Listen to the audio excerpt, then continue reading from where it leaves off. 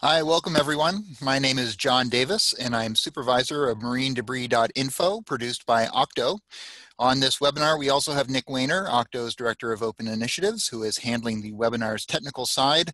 And this webinar is co-hosted by the EBM Tools Network, which is co-coordinated by Octo and NatureServe. So happy you can all be here today. It's gonna be a good presentation. We have Ingrid Giskes, Joel Baziuk, and Joan Drinkwin. Ingrid Giskes is the global head of World Animal Protection's Ocean Campaign and also the chair of the steering group of the Global Ghost Gear Initiative. She is in Vanuatu right now in a cyclone.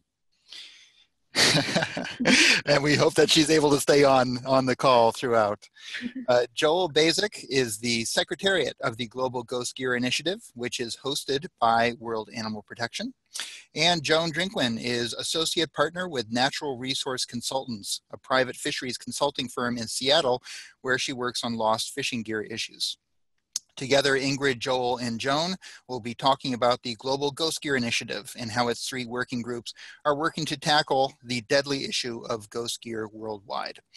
The way this will work is that our speakers will present for about 30 or 40 minutes combined, then we'll have the rest of the time for questions. We definitely encourage questions or comments, and you can submit them at any point during the webinar by clicking on the Q&A button on the webinar user interface menu at the bottom of your webinar screen. Also, if you have any technical difficulties, you can note those by clicking on the chat button and we'll do our best to help you. When we get to the question and answer portion, I will moderate the questions, taking one at a time and asking the questions to our presenters. So let's get started. Ingrid, I will turn it over to you now. Thank you so much for those introductions. Um, hopefully everything should go well from my end being here in Vanuatu. Um, I'm actually here on a project visit uh, this week of which Joan will talk a little bit more in her section of the presentation.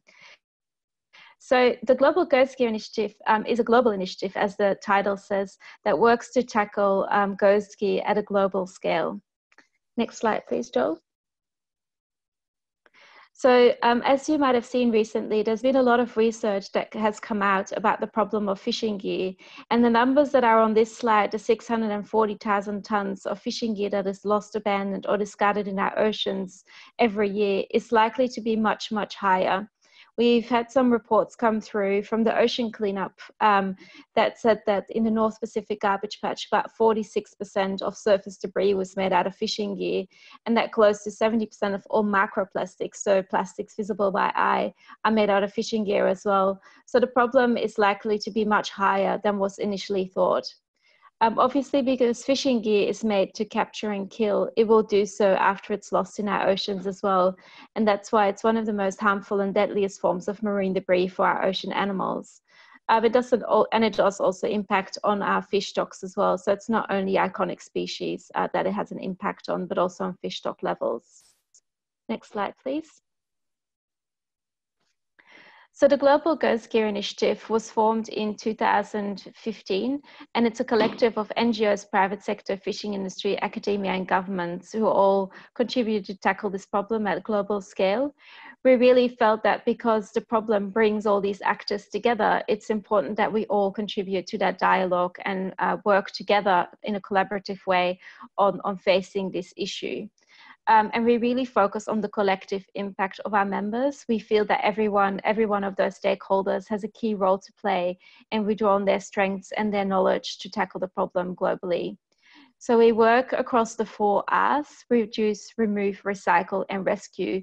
And in all of the project work that we do, of which Joan will highlight one particular example, we always try and make sure that those four R's are represented where possible. Sometimes we have three R's, sometimes we have two R's, but we try and work as much as possible in a holistic way um, to make sure that we approach the problem from all angles.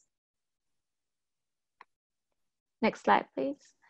Um, so the Global Ghost Gear Initiative was founded by World Animal Protection in 2015.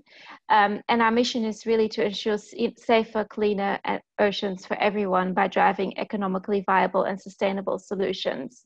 So that's why it's really important for us that we work together with seafood companies, with gear manufacturers, with fishers on the ground to make sure that every, any project or solution that we propose will actually work in a practical way for them as well, and to make sure that actually there's uptake of our solutions um, globally and that they're not just become niche projects.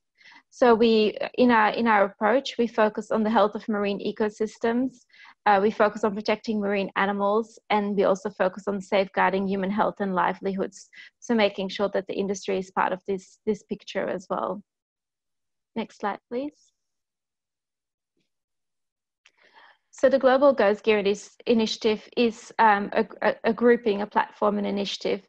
But with any um, initiative or platform, it's always useful to have a bit of structure in it to make sure that you actually can draw on everyone's strengths as much as possible. Um, so I don't want to dwell on this slide too much, but you can see here that we've got a steering group of which Joan and myself are part, and we've got five other members. Um, it's a cross-sectoral steering group, so again, we make sure that everyone's represented in it. Um, we have the secretariat, which is Joel, um, who supports our work. We have advisory committee, which is made up of experts. And then the bulk of the work is delivered by our three working groups. So we focus on building evidence, on defining best practice and informing policies, and also on catalyzing replicating solutions. And so the working groups are the one, the drivers of the work who are each chaired by a chair and also have a coordinator in place. Next slide, please. So just to show um, that our impact is global um, and how much we've grown in the last few years, um, I wanted to show you this slide. So the red dots are Triple GI members, so people that are participants in the platform. The yellow suns are where we have projects that are either led by the Triple GI a combined effort or where our participants have individual projects because all of our members also do their individual work as well. The green flags are where we have secured government support for the initiative. So at the moment we are 12 governments and the, the blue boxes are where we had participants take part in the consultation on the best practice framework, which I'll cover a little bit later. So even though there's still definitely some gaps in our map and areas where we'd like to work a little bit more going forward, I think in the, the three years that we've been operating, we've done quite well in making sure that we cover hotspots areas and, and our um, initiative globally. Next slide, please. So just to show again some of the organizations that are part of the initiative, uh, we've got at the moment 72 unique organizations and counting, especially since the sixth uh, Marine International Marine Debris Conference. We've had kind of an influx of organizations. So we see the teller going up every day, which is really exciting. Um, we have got 12 governments that have declared support for the initiative, and we also have some high, high, high level affiliates working with us. So, United Nations Environment Programme, FAO, NOAA, of course, uh, the Commonwealth Scientific Industrial Research Organization, which is the Australian Government Research Organization, the European Commission, and the International Whaling Commission.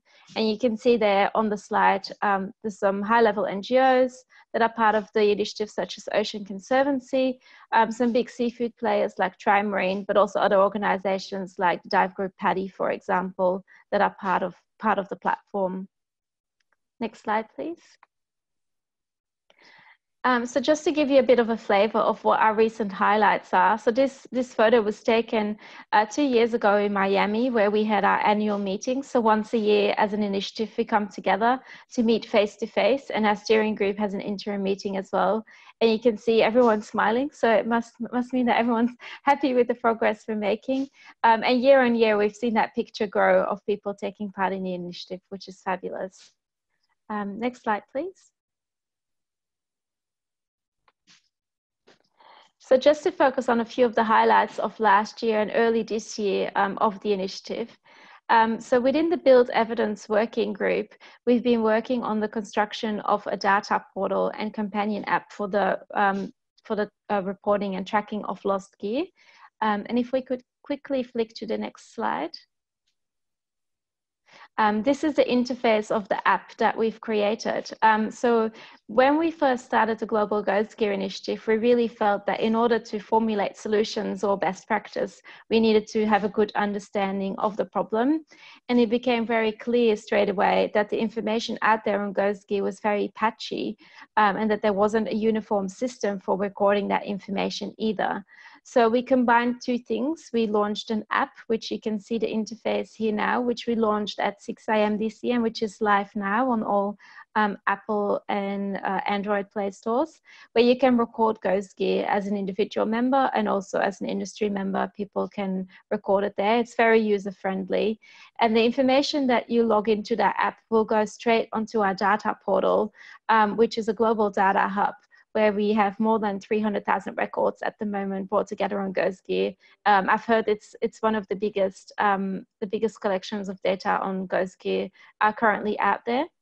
Um, and that those two tools really bring the information together that we currently have. And we can help for example governments or industry partners with formulating baselines. We can hopefully over time see the progress that we make around our solution projects and contribute as well uh, to the scientific community could we go back to the previous slide, please? So, um, so that's definitely been a highlight for us in terms of building evidence.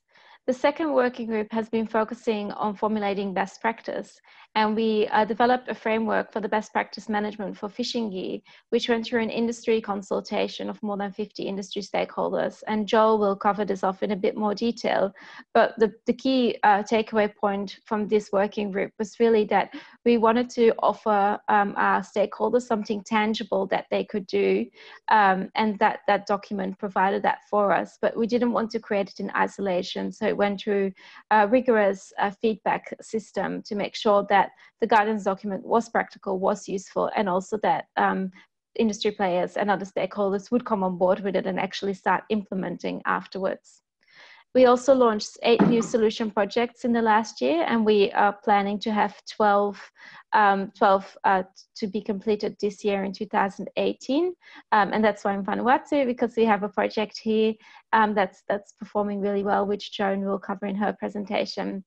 And all of our projects, as I mentioned, they work across the four R's where possible, but they also go through a rigorous training process um, through our project review board, uh, which is made up of experts who comment and review the projects before they're given the green light for go ahead to make sure that we don't um, have little projects working in isolation, but more global projects. And we have a set of criteria that each project will be scored against before it goes to the steering group for final approval.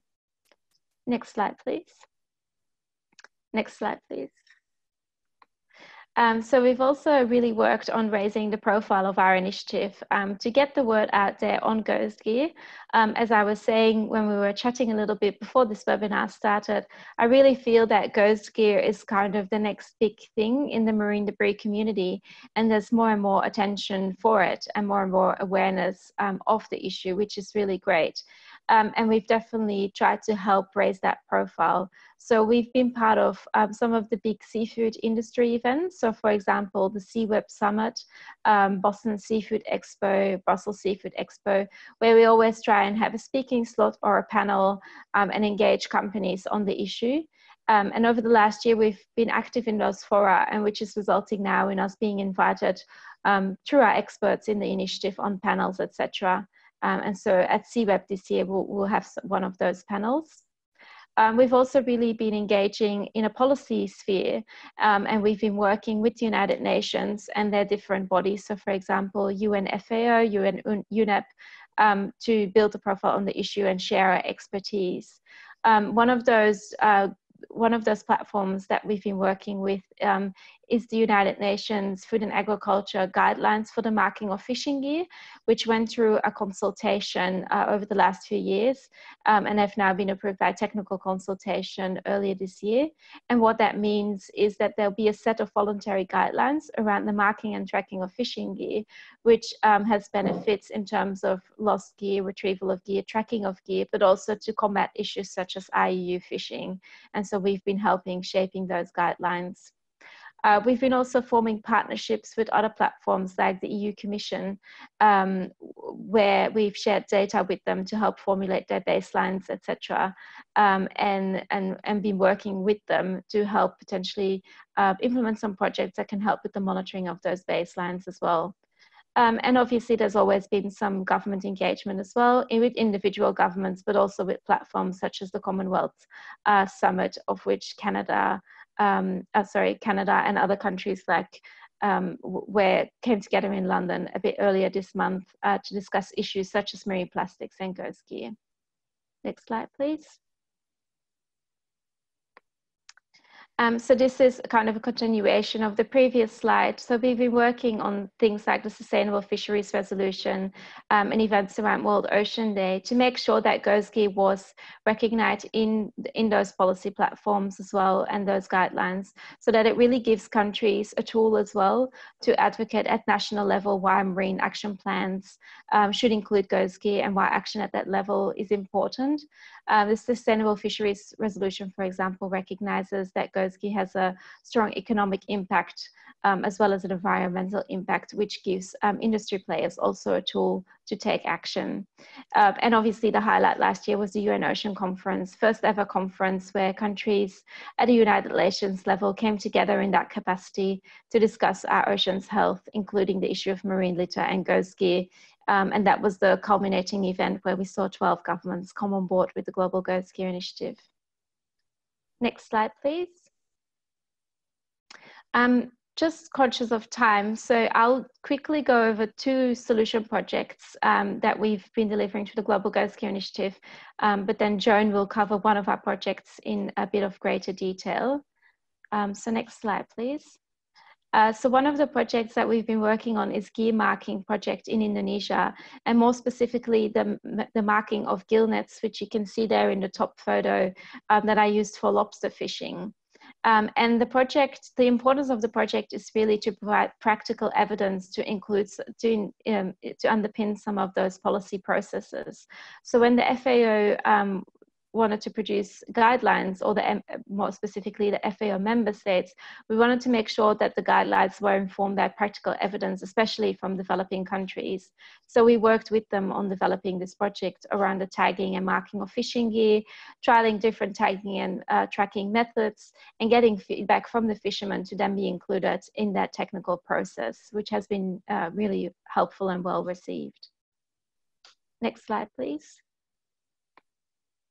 Another project that we've been working on is the Alaska project on end-of-life fishing gear and providing a circular economy model for those end-of-life nets.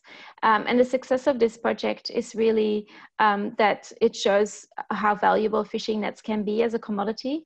Um, and also this project um, has been scaled up. So this year we'll be looking at four additional sites and some of the learnings of this project have also informed recycling projects in, for example, countries like Denmark and South Africa. So um, this project is kind of the perfect embodiment of the Triple GI spirit where we focus on sustainable projects, but also projects that are replicable um, across, um, across the entire world. Um, and we're all about sharing information and sharing lessons learned. Next slide, please.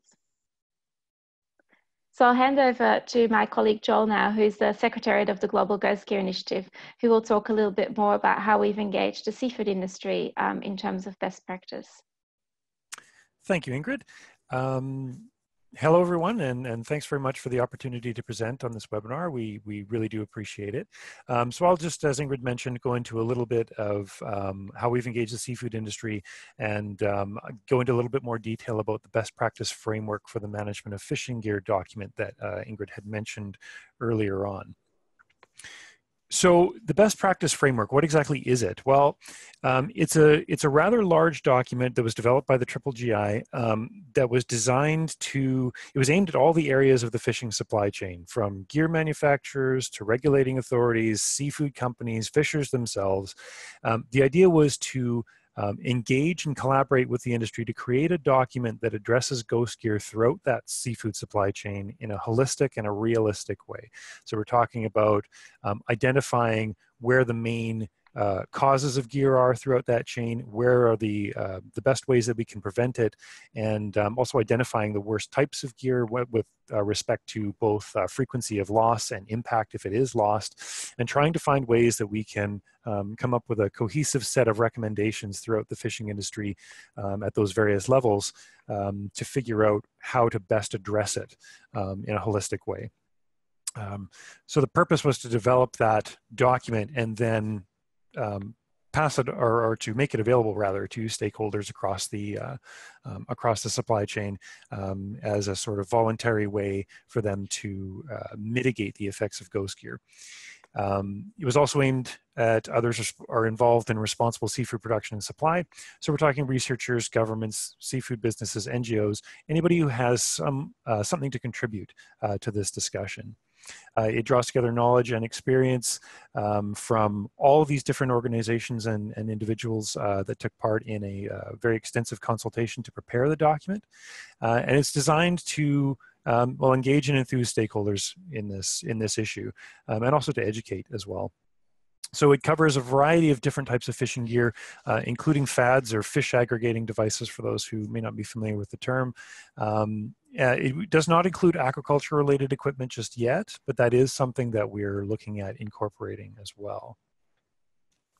So when we were defining the scope of the best practice framework, what exactly should it look like? Um, one of the first things that was looked at was uh, fishing gear type and, and where it, what are the most common types of gear? Um, where are they most predominantly used? Um, and then we also looked at the likelihood that they would be lost just through regular fishing activities and the impact if they were lost. And then we came up with a scale um, to sort of rate what was the most uh, harmful form of, of ghost gear. You can see a couple of charts there that fill some of that information in. Um, and you can see the red there, gill nets were found to be by far the most um, damaging form of, um, of ghost gear. If it does get lost, first of all, it's very likely that it can get lost. It's a very thin mesh. It snags very easily. Uh, it tears easily as well on things, rocks and things like that underneath the surface. And if it does get lost, it also has a nasty habit of floating in the water column, um, even if it is snagged on something, which means that it will continue to catch and kill um, fish and marine animals for quite some time after it's, uh, after it's been lost. Um, traps and pots were identified as a close second, and uh, fish aggregating devices or FADs, as we mentioned, were third. And it sort of goes down the line from there. That isn't to say that other forms of ghost gear are not, um, you know, do not need to be addressed. They absolutely all do. Uh, but this gives an idea of the main um, focus or the or the worst types of gear loss um, for for when this gear actually is lost. But again, all gear does need to be managed. So the best practice framework was created as a way to, again, make sure that we had some recommendations and some practical, realistic recommendations um, for how different parts of the seafood supply chain could address this type of a thing. Um, so uh, one of our Triple GI participants, Ocean Outcomes, or O2, was hired to run an external consultation with various um, uh, industry stakeholders. Um, there was a lot of positive participation throughout all layers of that supply chain that I mentioned earlier. Uh, and there was a lot of discussions for development of pilot and solution projects incorporating, incorporating rather the best practice framework. Uh, fisheries improvement projects or FIPS uh, are a good example of that. But of course, we do try to incorporate um, the relevant parts of the best practice framework document in our own solutions work. Um, so the consultation methodology, uh, Feedback was solicited via two methods. First of all, webinars, and second of all, an online survey for those who were unable to participate in the webinars. So we held 13 uh, webinars between April and September of 2017, 38 unique participants from across those sectors, and we had 64 unique respondents to the survey. Um, again, industry, offering feedback and assessing the best practice framework strengths and weaknesses to make sure that the recommendations that were contained therein uh, were actually practical, were actually doable, uh, and made sense. Uh, so the full best practice framework document um, is available now. It's um, available to anyone who's interested via the Triple GI website at www.ghostgear.org. Um, and if anybody, of course, um, has any questions or anything like that, uh, there will be questions at the end of the webinar, but also you can feel free to get in touch with me as well, and I'll do my best to, uh, to answer your questions. So that's a brief overview of the best practice framework document. I, I really suggest that you take a look and download, uh, and to, or sorry, download and take a look at it. Um, it's a really uh, extensive document, but um, it's it's one that really does try to address the problem holistically, which is what the Triple GI is all about. So there was a global response um, we had every continent represented, which was which was huge. Um, all of the seafood supply chain uh, sectors that I mentioned were uh, represented, except for port operators. 67% um, of the respondents labeled Ghost Gear as moderate or highly significant to their specific operation, uh, which was already high uptake. Um, I'm sure that that number is only going to increase now with um, with uh, ghost gear being the sort of the next big thing in marine debris as uh, Ingrid related, and uh, as definitely as a, an upcoming marine sustainability issue, at least in terms of uh, knowledge of it. 83% of the respondents said it would be somewhat, or they would be likely uh, to influence their business practices. So the um, the initial uptake, um, or at least the um, uh, people saying that they would um, incorporate the, the recommendations contained within was uh, quite high. And uh, respondents indicated primarily that the regulatory approaches would be best suited to mitigating the effects of ghost gear. But again, there are, uh, there are several different layers to that. And I encourage you again to download that document if you have any questions about it. So when it comes to corporate engagement, uh, we have had some corporates joining the Triple GI. Um, one of our largest um, corporates that's joined, um, and I'm sure many of you are familiar with the Thai Union Group. Um, they joined at the Seafood Expo North America in Boston last month. It was uh, hugely exciting for us. Um, we do have some fishing industry representation already on board with Triple GI, but it's great to have Thai Union jumping on board as well.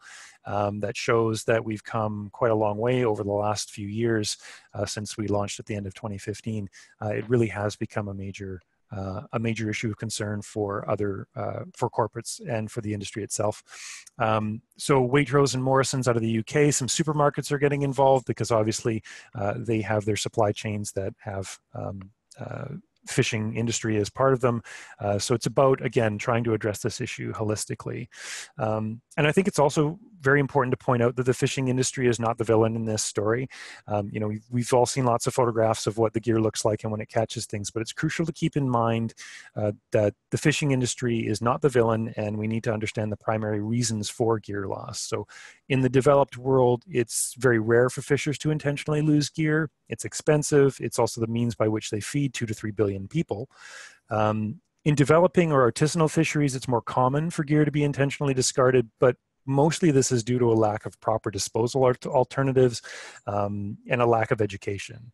Uh, this is why Triple GI projects are not just about the removal of lost gear, uh, but also the prevention of gear loss, finding circular economic solutions for the uh, for end of life gear so it doesn't end up in the water, uh, and educating fishers in the fishing industry on the global impacts of lost gear.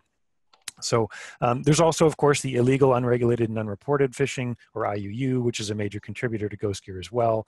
Um, so illegal vessels may dump gear in order to avoid detection by authorities or to be uh, avoid be, being denied entry into port. But the main point to keep in mind is that it's essential to work positively and collaboratively with the industry to have a lasting effect, and that's kind of what the Triple GI is all about.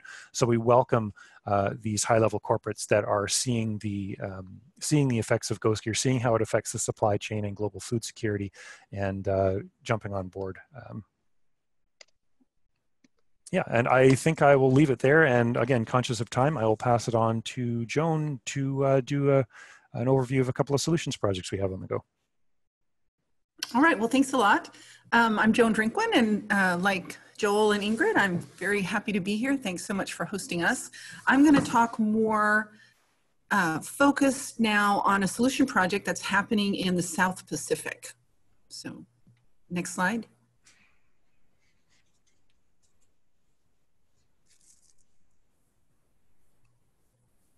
Uh-oh, what happened?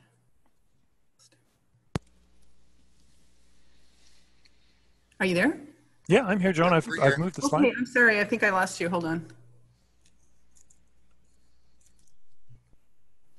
Okay, thank you. Um, this is a, a great diagram developed by the South Pacific community. It shows a variety of different kinds of fishing that use fish aggregation devices. This is a very common kind of fishing gear that's used in the tuna fishing world. Uh, it's used in all different oceans, and this is this is particularly um, a diagram of how they're used in the South Pacific Ocean. So industrial fishing uh, companies like Thai Union and like Tri-Marine will use um, drifting fish aggregation devices that are deployed in the um, in, in the high seas. And then they aggregate um, tuna around them and then the purse seiners will come and set their nets. The fish aggregation devices that are used like this are generally tagged with satellite buoys that transmit their position um, to the fishing companies and to the captains of the vessels. They also have echo sounders, which will show how much fish is aggregating underneath the fish aggregation devices. So these satellite buoys are incredibly valuable and have really contributed to the efficiency of tuna fishing. They allow fishermen to target um, target fish aggregation devices that have fish known fish aggregations, and that helps them reduce fuel costs and fishing time as well.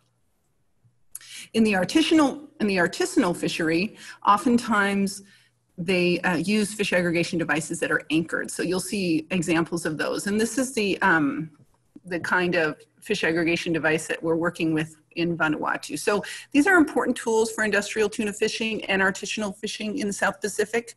They have many benefits. They um, consolidate the target species and reduce fuel costs and fishing time, but they do have negative impacts as well. And that's why the Global Ghost Gear Initiative has ranked them third in terms of the kinds of gear that needs to be addressed in the best practice framework.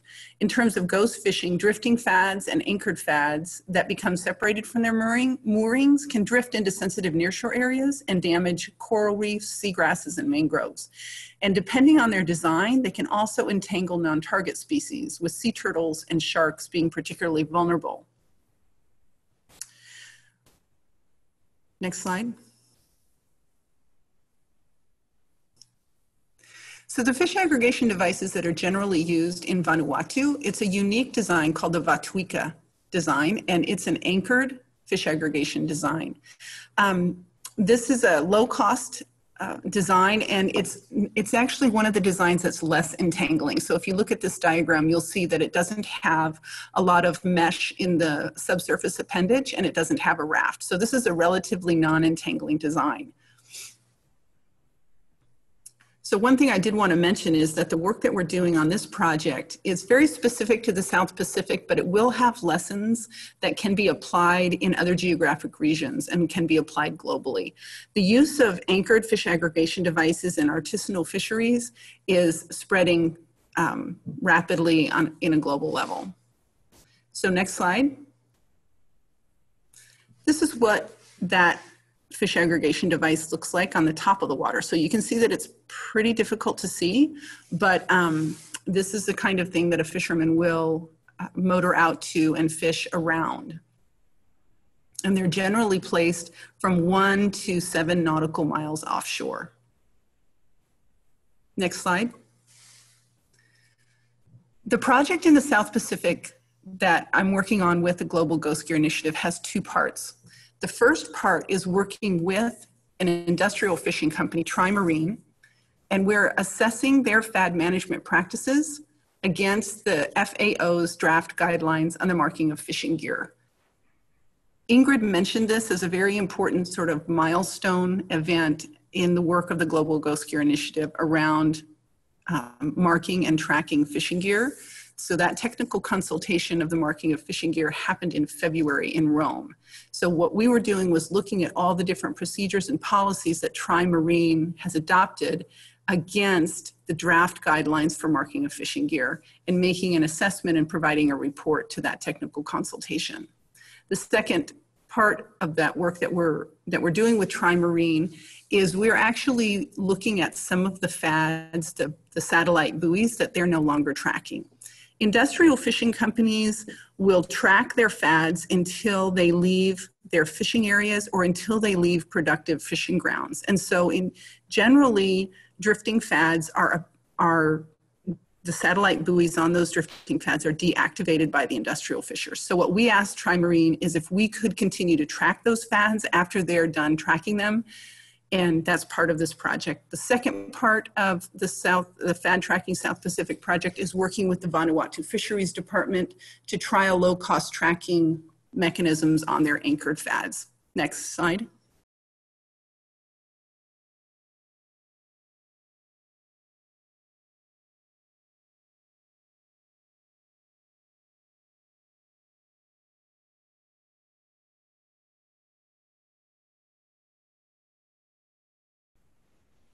The project in Vanuatu is, um, again, going to, we use that project to provide some recommendations to the FAO technical guidelines for the marking of fishing gear, but those recommendations were from the perspective of an artisanal fisheries and a, and a developing country fisheries management.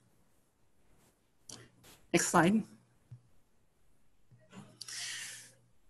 In Vanuatu, what we're doing is we're looking at their anchored FAD program and we're trying to find a low cost position tracking device that can be used by the Vanuatu Fisheries Department to keep track of their anchored fish aggregation devices. Even though they're anchored, they do often get lost.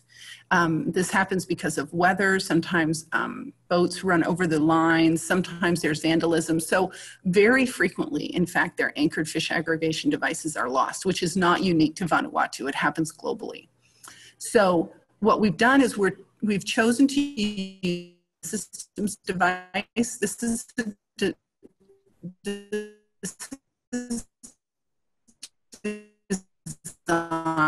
as a fisheries management monitoring tool, works over the cellular network rather than the satellite network. And because of that, it's much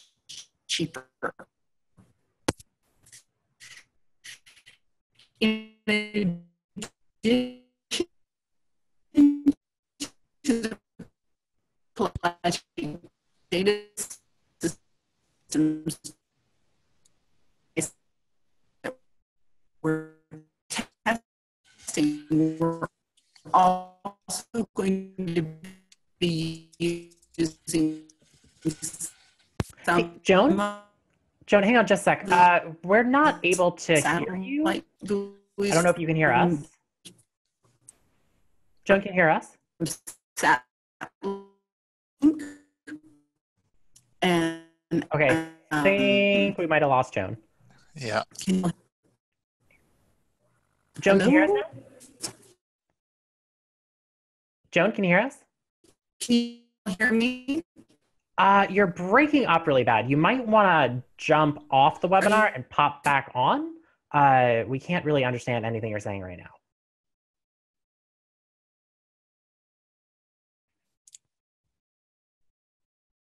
Um, I can, uh, there we go, sorry.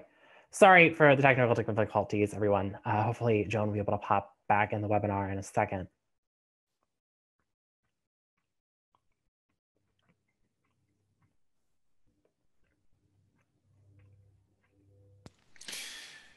In the meantime, uh, if anybody has questions already for our panelists, feel free to submit them by clicking on the Q&A button at the bottom of your webinar screen.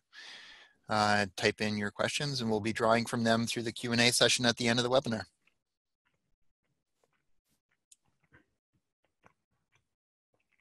Uh, Joan, you're muted right now. I'm trying to unmute you, but it doesn't seem to be working.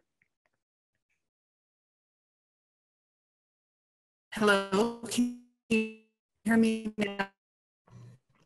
No, it's coming in all broken up again.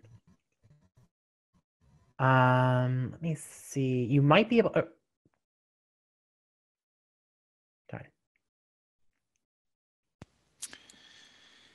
Ingrid has suggested in the chat that we could jump to questions. Um, alternatively, if, if she or Joel would like to wrap up Joan's um, presentation, uh, we could also do that.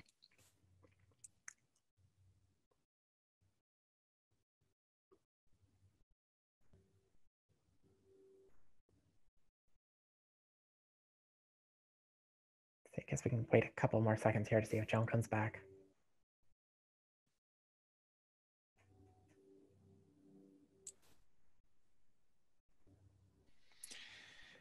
Ingrid is bringing up uh, the presentation. Okay, perfect.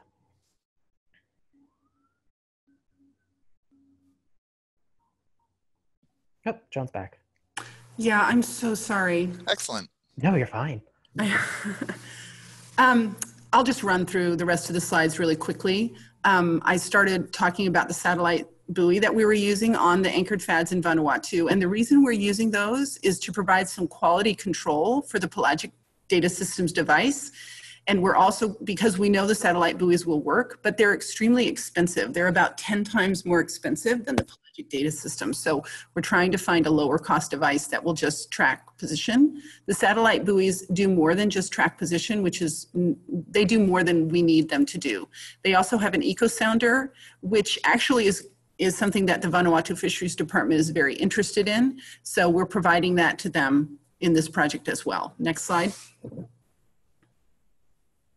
So this is a picture of some of the uh, crew that would put the pelagic data system device on the anchored FAD. You'll see it attached to that pole and, um, and the buoys have been marked with the FAD number. Next slide.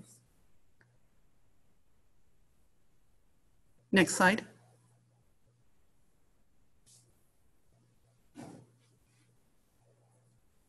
Okay, next slide. That's just the crew that did it. Next slide. it's a good picture though. Um, and here's their location. And basically what we're doing when we're looking at the interface with the SatLink buoy is we're making sure that the buoy is staying within this circle. Um, you can imagine how it works with an anchored FAD is it's like the, the FAD is on a tether, which is anchored to the bottom of the ocean. And so when you see the position tracking, it generally is going around in a circle. So next slide. And again, here's the pelagic data system interface, which basically shows the circle also. So we're, we're checking this on a daily basis. And if we see that the, um, the position goes off that circle, then we know it's been lost. And we have an agreement with Ocean Blue Fishing in Vanuatu, which uh, one of the guys was shown in that picture, that they will actually go to retrieve the FAD. Next slide. Next slide.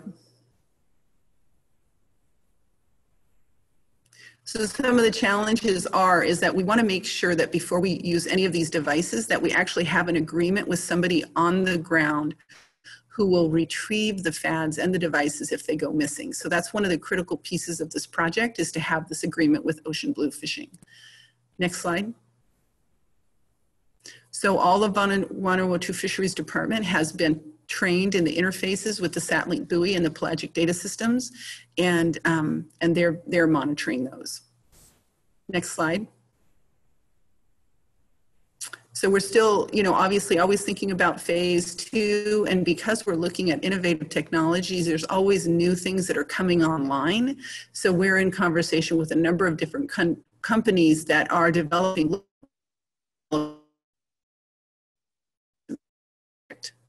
Next slide.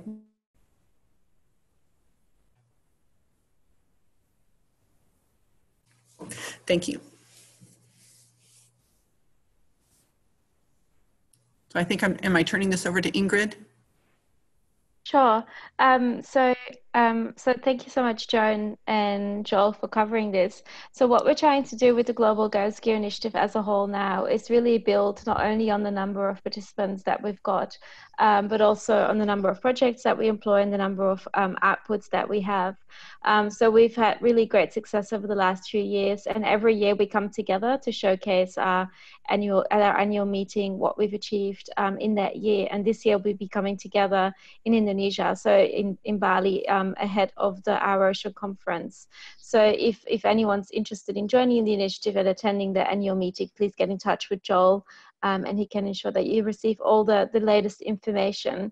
So now what we really want to do is grow the initiative, both in the expertise that we house, um, that we house currently. So if anyone on the line is interested in joining or providing some expertise or wants to learn more, please get in touch with us because the idea is that the initiative really becomes a self-sustained platform um, into the future to to continue do the great project work that Joel, uh, Joan just highlighted that we're doing here in Vanuatu to get industry players on board and to change the world when it comes to ghost gear. So I think we've now come to the Q&A part of the session. Great. Thank you very much, Ingrid, Joel, and Joan. Again, I'm John Davis, supervisor of marinedebris.info. We now open up the webinar uh, to audience Q&A for the next 13 minutes or so.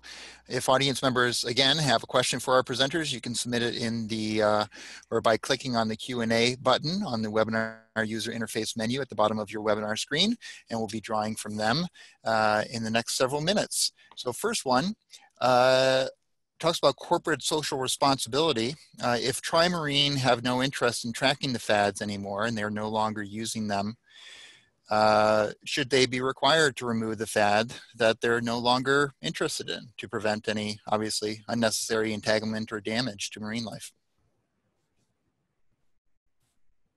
Joan, do you want to take that yeah, question? Yeah, that's an excellent question. I mean, that that's that is the million dollar question.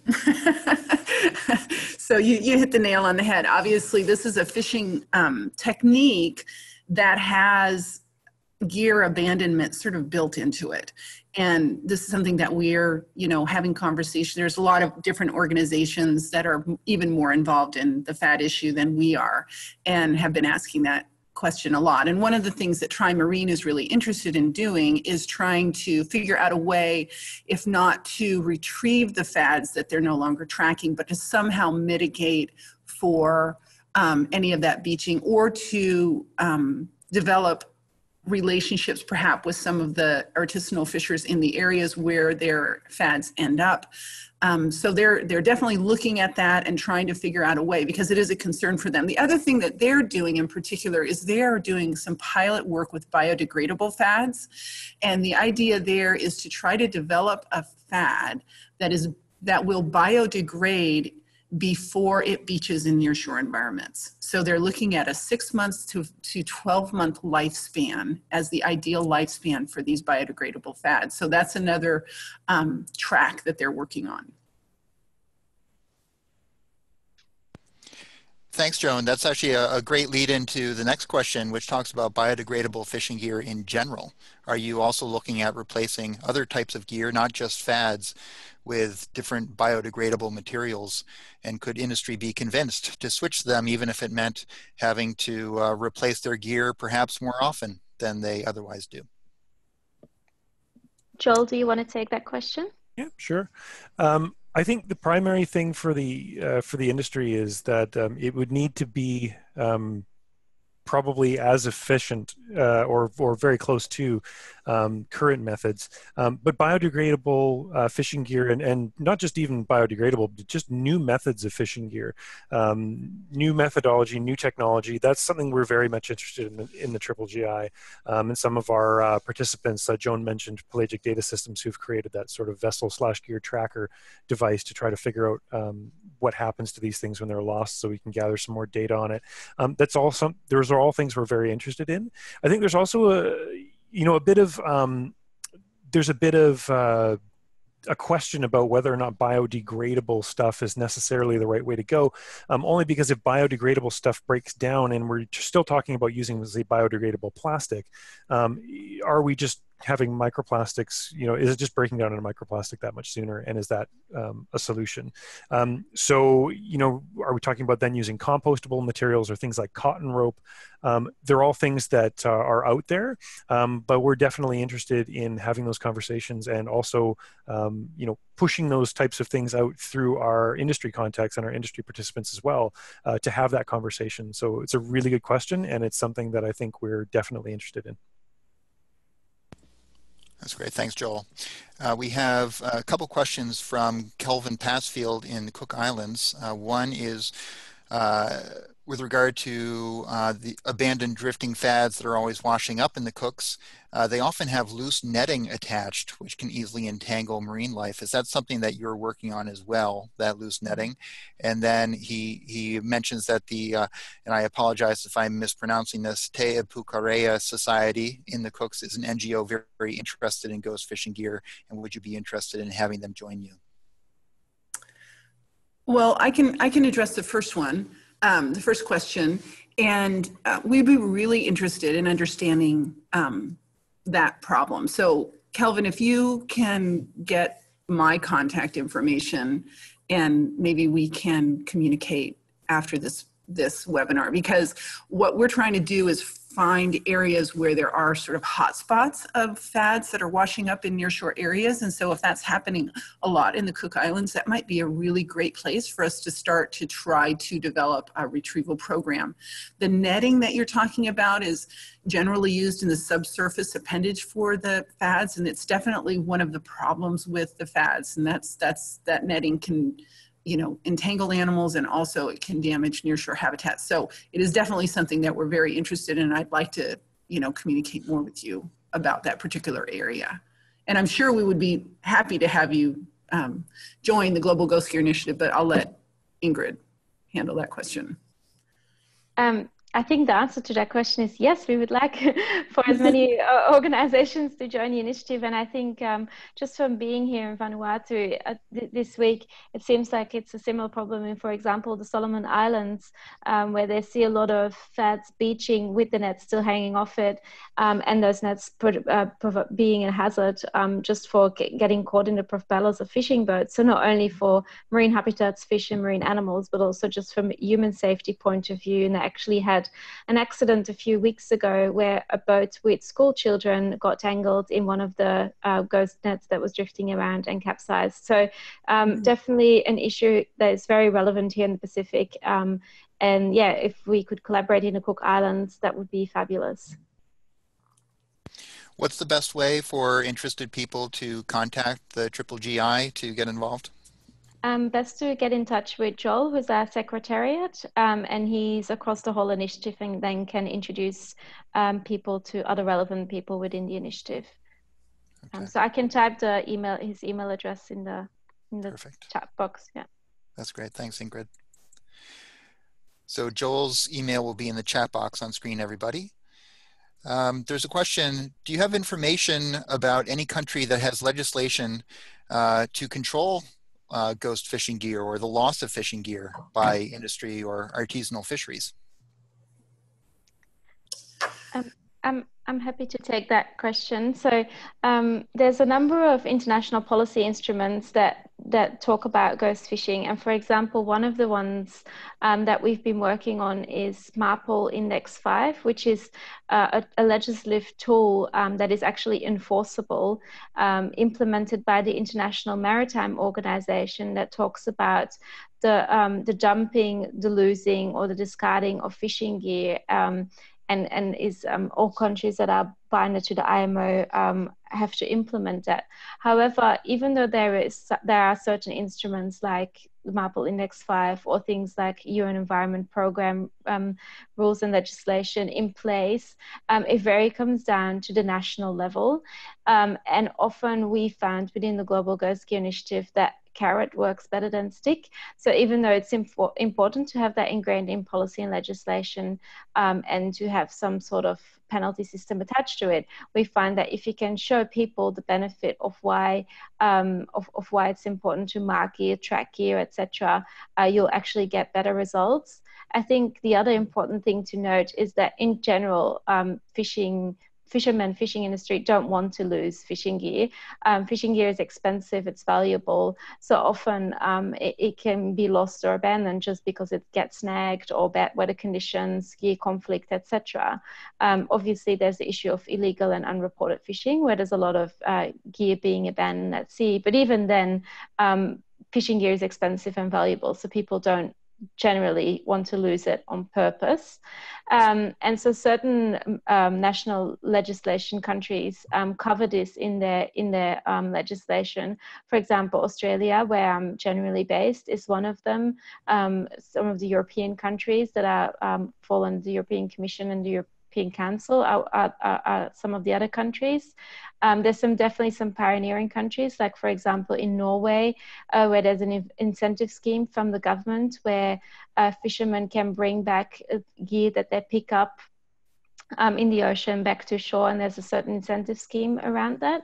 Um, but in other countries, there's still some work to be done around it. So it depends kind of on the individual country where the legislation is at, and also where the adoption of the various um, international policy instruments is at as well. Um, but what we try and do through the Global Ghost Gear Initiative is to um, to promote some of the benefits of taking action on ghost gear, retrieval of gear, or prevention of losing gear in the first place. That's great. Thanks, Ingrid. And everybody, uh, anyone who's interested in um, getting involved with the Triple GI, uh, Joel Baziuk's email address is now in the chat box. Um, have a couple questions on getting up to speed uh, on, on the topic of ghost fishing. Um, you said, I think um, both Ingrid and Joel, you said that you anticipate the ghost gear will be the next big thing in terms of public awareness with regard to marine debris. Uh, are there ways that the Global Ghost Gear Initiative is is actively trying to ensure that it becomes the next big thing in terms of publicity? And um, when people get engaged on this issue who are new to it, uh, can you recommend places for them to go to learn more in general about ghost fishing once they're engaged? Joel, did you want to take that question? Yeah, sure. I mean, as as far as uh, goes, or as far as um, going, where do you go to get more information? I think right now the the, the Triple GI or the the Global Ghost Gear Initiative website is probably the best place to go um, at the moment. But we do have a lot of infographics, and we've developed a lot of uh, these types of outreach documents to try to um, educate people who are interested about the issue. Um, follow us on Twitter is another good way to uh, see what the um, the various um, participants that we have are are doing and, and keep up to date on these types of things. We also have our own webinars that we um, that we have every quarter. Um, there's a Triple GI newsletter as well. That's a great way to uh, keep up to date on what's going on, not only with the Triple GI uh, as a as its own movement, but also what some of our participants are doing in the ghost gear space as well on their own.